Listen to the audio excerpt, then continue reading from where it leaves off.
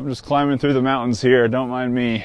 I did a lot of fun projects in 2020, but I think one of my favorites was definitely the 3D printed snow tank. Now that winter's in full swing, I'm starting to get urges to build a better one. I want to make the next version a lot faster and work in deeper snow. I have some interesting ideas about how we can use crowdfunding to help make the best RC snowcat ever.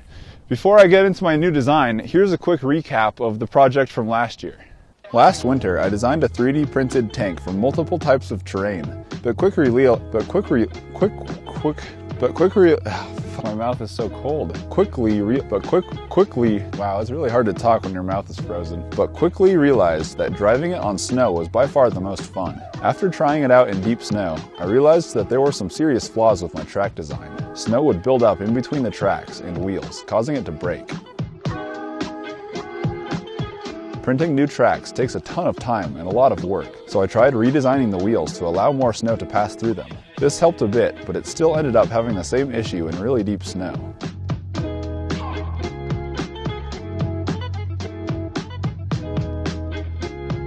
After taking a look at some real snowcat tracks, I arrived at this design, which worked great in deep snow.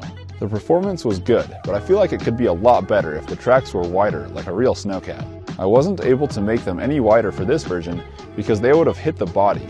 It was designed for the older narrow tracks. For my next RC Snowcat, I designed a new track that is 210 millimeters wide. That's 80 millimeters wider than the old version.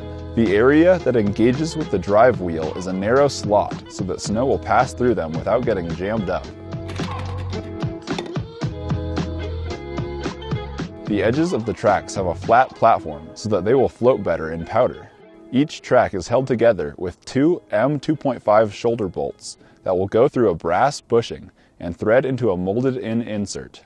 The best part about these new tracks is that with your help, we can have them injection molded out of fiber reinforced nylon. This would make them way more durable than 3D printed tracks, which would allow the next Snowcat to go way faster and last for way longer. Also, they would require much less time and effort to make compared to 3D printing. I've gotten a few quotes back from injection molding companies in China, and it looks like the mold cost will be around $4,000.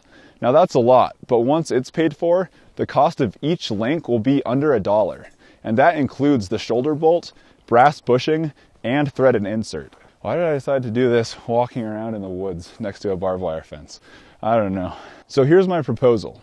Whoever donates money towards the injection mold will be able to purchase the tracks at cost. That is the cost of manufacturing, with no profit margin going anywhere.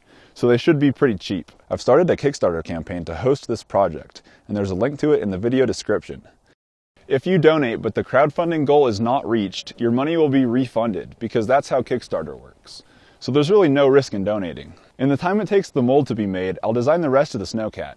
Now the Chinese New Year is coming up, so that could add a delay, but hopefully we'll get it done before spring. If anyone knows of any injection molding companies in the United States that might be willing to match the Chinese mold cost or get close to it, let me know, because that would definitely speed things up.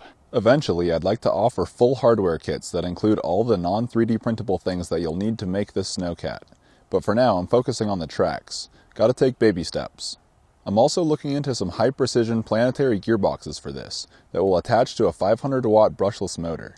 I have samples on the way now, but these will likely be pretty expensive, so I'll probably also design a 3D printable gearbox to use with cheaper hobby motors. Similar to my last snow tank project, all the design files will be available for free, so if you don't want to buy in on the injection molded tracks, you can still 3D print the Snowcat. Anyways, I think this project will be a fun way that we can all take advantage of crowdfunding and take the Snowcat project to the next level. So check out the link in the video description to donate. That's it for